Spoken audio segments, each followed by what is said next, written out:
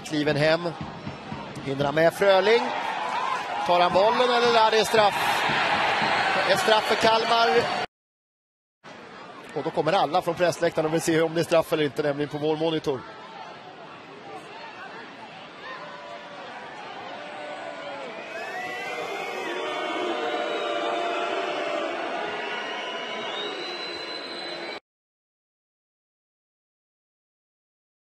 Ja, Dino Islamovic. Nej, inte Tom Pettersson här, utan det är Dino Islamovic som får, eh, som får rött.